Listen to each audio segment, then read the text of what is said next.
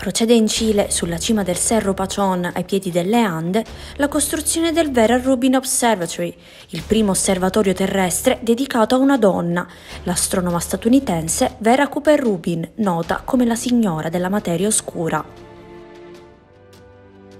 Il progetto della nuova facility della LSST, Legacy Survey of Space and Time, è guidato da Stati Uniti e un consorzio internazionale di cui fa parte anche l'Italia. La conclusione dei lavori, anche se rallentati dalla pandemia, è prevista per il 2023.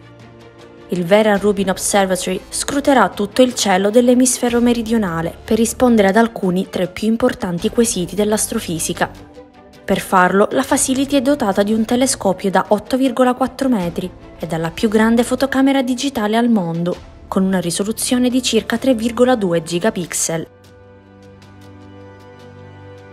Con una profondità di 27 magnitudini, l'osservatorio terrestre sarà in grado di raccogliere fino a 20 terabyte di dati a notte, un numero 10 volte maggiore di quanto ottenuto finora dagli altri telescopi presenti sulla Terra. Per ottenere questa quantità di dati, l'osservatorio è realizzato seguendo un design ottico insolito.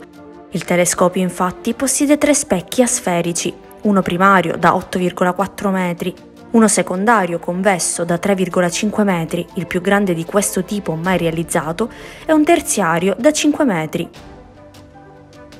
La luce della porzione di cielo osservata si rifletterà sulle superfici dei tre specchi e attraverserà le lenti rinfrangenti fino a raggiungere la fotocamera digitale, in grado di produrre circa 1000 immagini a notte, tutte a una risoluzione pazzesca, 3 miliardi e 200 milioni di pixel ciascuna, per intenderci, se volessimo visualizzare anche solo una singola immagine a completa risoluzione, occorrerebbero 378 schermi televisivi 4K a ultra alta definizione.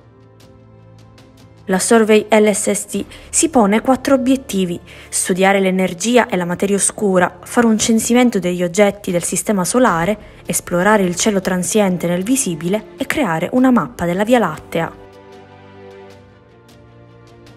I lavori in Cile proseguono e la camera digitale sta prendendo forma. Presto saremo in grado di scrutare il cielo notturno con occhi nuovi fino a comprenderne le componenti più misteriose.